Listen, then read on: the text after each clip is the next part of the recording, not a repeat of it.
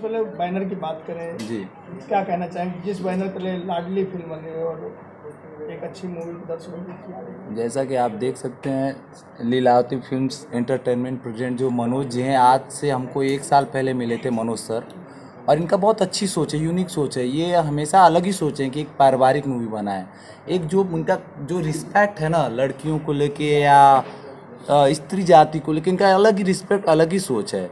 इनका मन था कि एक लव स्टोरी बनाए, लेकिन फिर इन्होंने बोला, नहीं नहीं, हम लोग कुछ ऐसा यूनिक कॉन्सेप्ट बनाएँगे जिससे एक समाज को मैसेज जाए, जिसमें मेरे गुरु तुल्य या मेरे गाइडर जो मुझे सिखाए भी और मुझे एक यूनिक रास्ता भी बताया। ऐसा होता है गुरु जी कुछ लोग होते हैं कि बोलते, बेटा, ये करना ये करना है। इन्होंने मुझे गाइड के साथ साथ ना मुझे अपॉर्चुनिटी भी दी और मेरा साथ भी दिया इन्होंने हमेशा हर कदम पे। अविनाश सर भी हमेशा मेरे साथ लगे रहे कि काली ऐसे करते हैं, काली ऐसे करते हैं, शंकर सर भी लगे रहे, सब लोग सपोर्ट किए। तो हम लोग तब जाके ये एक यूनिक कॉन्सेप्ट बना और हम लोग लगभग एक साल से लगे थे और ये मूवी आप जाके स्टार्ट भी हुई और अच्छी शूटिंग्स चल रही है, सारे कलाकार सब लोग अच्छा सपोर्ट कर रहे हैं। जिसमें कि अगर हम देखा जाए तो इसमें म्यूज़िक हमारे ओम झा सर ने दिया है, जो कि बहुत प्यारे प्यारे गाने, और इसमें प्यारा गाने के को अगर देखा जाए तो एक राखी का भी सॉन्ग बहुत यूनिक है, जो कि डॉक्टर साहब यहीं मौजूद है, अभी आप लोग बात करेंगे उनसे।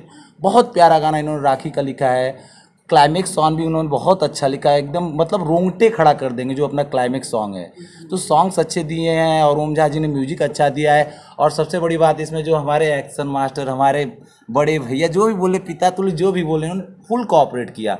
विलन के साथ साथ उन्होंने जो एक्शन उन्होंने दिया है ना हिंदी मतलब बोलते हैं कि साउथ हिंदी से जो लेवल होता है वैसा इन्होंने दिया है। एक जो होना चाहिए, होता है कंटेंट के साथ जो होता है एक्शन वो इन्होंने दिया है।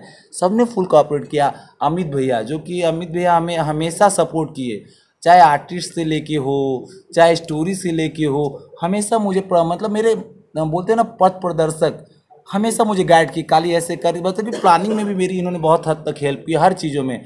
तनु मैम वाह तनु मैम को मैं, तनु मैम के लिए एक तालियाँ ज़रूर देना चाहूँगा, क्योंकि जो इन्होंने सपोर्ट मुझे दिया ना कभी कभी ये सीन्स में भी बोलती थी कि काली ये ना थोड़ा ऐसे नहीं, ऐसे करते हैं। बहुत अच्छे पॉइंट बताती थी, जो इनका एक्सपीरियंस नो डाउट इनसे बहुत मेरा कम एक्सपीरियंस है।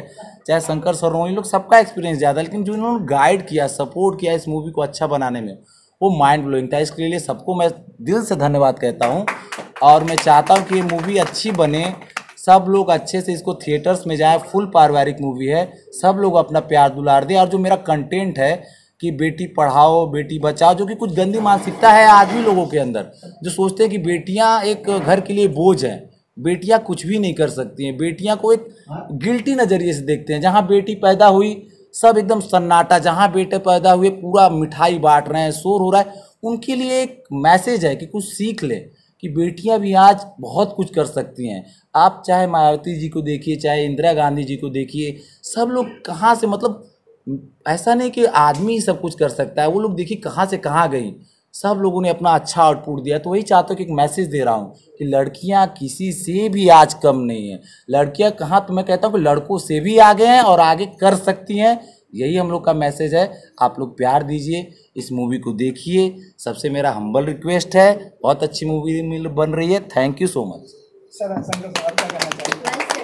Thank you thank you sir आप क्या कहना चाहेंगे जी सबने तो सब कुछ बोल लिया है।